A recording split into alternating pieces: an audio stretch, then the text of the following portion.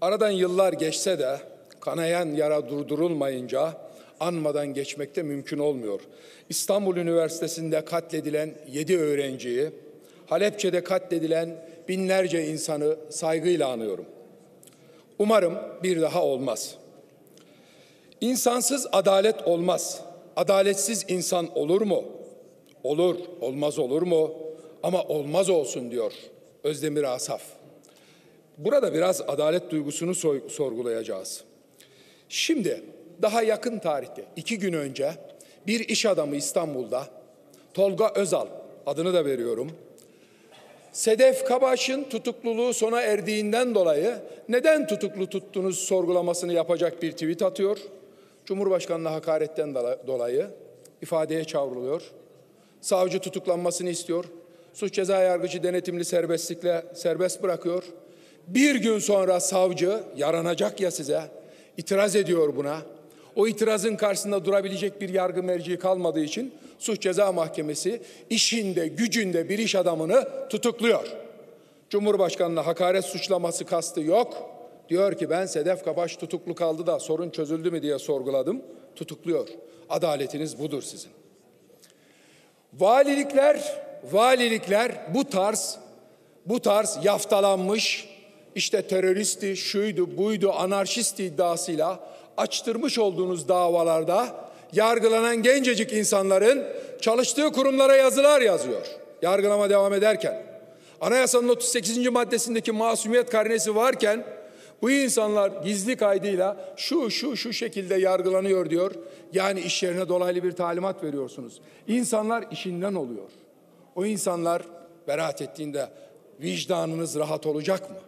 Bu nasıl uygulamadır? Hukuk devletinde masumiyet karinesi varken bu uygulamayı içinize nasıl sindiriyorsunuz? KHK'lı ailelerden yüze yakın insan intihar etti. Gencecik bir çocuk 16 yaşında Diyarbakır'da babası KHK'lı diye dayanamadı. Hayatına son verdi. Bir polis memuru arkada bir not bıraktı. Fındık bahçesinde, Ordu'da ben vatan haini değilim dedi. Yaşamına son verdi. Buradan o vatandaşlarımıza sesleniyorum. Ne olursunuz sakın ha yaşamınıza son vermeyin. Bu karanlık günler geçecek. Beraat edenler, takipsizlik kararı alanlar, hakkında hiçbir yargılama başlatılmadan idari işlemlerle işine son verilenleri iktidarımızın ilk günlerinde işlerine iade edeceğiz. Bu zaman yakındır. Ne olursunuz tahammüllü olun. Yine hakkını arayan, barınamıyoruz diyen, ayda 60 dolar bile etmeyen burs verdiğiniz, kredi verdiğiniz çocuklar var, üniversite öğrencileri. Ayda 850 lira kredi ve burs veriyorsunuz. 850 lira. Şu anda 57 dolar civarında bir para. Bu çocuklar barınamıyoruz, geçinemiyoruz dediler. Bu anayasanın 34. maddesindeki toplantı gösteri yürüyüşleri hakkını kullandılar. Yine bu anayasadaki düşünce özgürlüğü haklarını kullandılar. Ankara'ya girerken onların babalarından aldığınız vergilerle emniyete tahsis ettiğiniz coplarla copladınız onları. Kelepçelediniz onları. Yine onların babalarından aldığınız vergilerden vereceğiniz bursu ve krediyi çok gördünüz.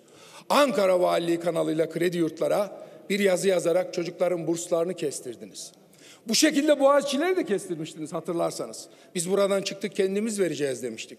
O çocuklar dava açtılar. Bakın burada çil çil kararlar var. Çocuklar hakkı. Masumiyet karnesi var. Haklarında yargı kararı yok. Haklarını aradılar dediler mahkemeler. Çil çil, gerçi çil çil deyince siz dolar mark para anlarsınız ama çil çil kararlar var.